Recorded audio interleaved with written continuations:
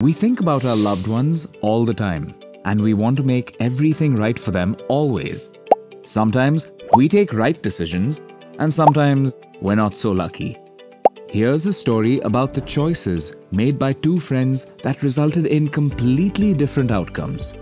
Rachit and Raghav were best friends who worked in the same company. They both earned a salary of 10 lakhs per annum and had a happy married life with kids.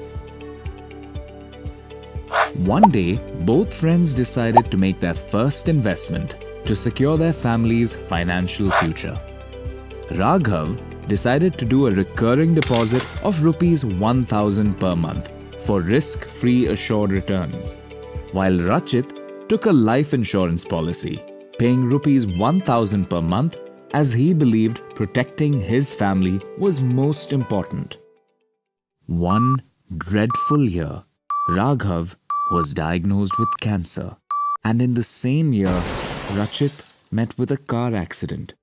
Unfortunately, both friends lost their lives, and their families lost their sole earning member. Raghav's family had to break the recurring deposit to pay for his treatment and had difficulties to make ends meet. On the other hand, Rachit, who was focused on protecting his family, his family received rupees 1 crore from the insurance company, plus an additional rupees 25 lakhs because Rachit had opted for an accidental death benefit rider. This way, Rachit's life insurance protected his family and gave them the much needed financial stability. Life is so unpredictable. It is important to financially secure your loved ones in your absence.